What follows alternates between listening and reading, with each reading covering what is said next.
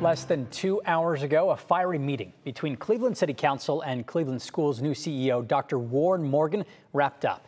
That meeting comes just days after 12 members of City Council sent a letter to Dr. Morgan and Mayor Justin Bibb asking them to return money to a program funding grants for students and educators. 3 News Education Station reporter Danielle Wiggins uh, was at that meeting and joins us now to explain what happened there.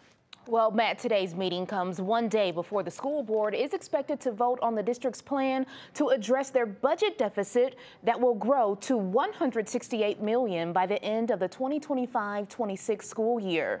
This afternoon, Dr. Warren Morgan gave a, a brief overview of the district's deficit reduction plan that needs to be submitted to the state by Thursday.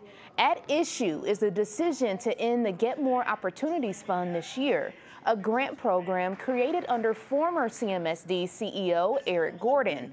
Now, Gordon announced the program after philanthropist Mackenzie Scott gave the district $20 million in 2022, placing no restrictions on how the money is to be spent.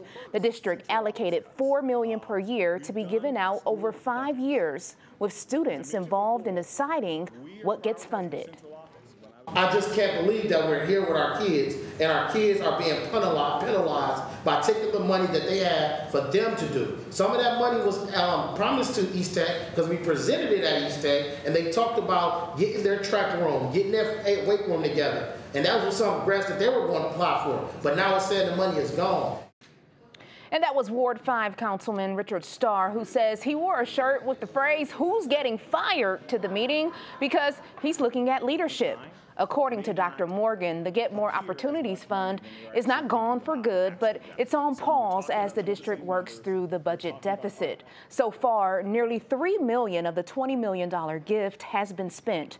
At the meeting, Dr. Morgan also said that when the district went to the school board in November, the wording of a resolution was changed to say that the Mackenzie Scott money could be used to supplement their budget concerns. And Matt, coming up at 6, how Dr. Morgan the statement that they didn't take money or that program away from students.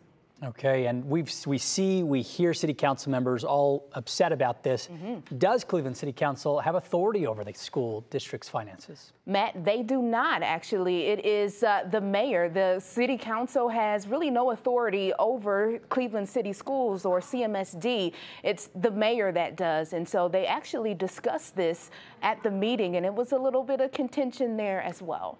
Yeah, yeah, you can understand that. Okay. Danielle Wiggins live for us in the newsroom. Thank you.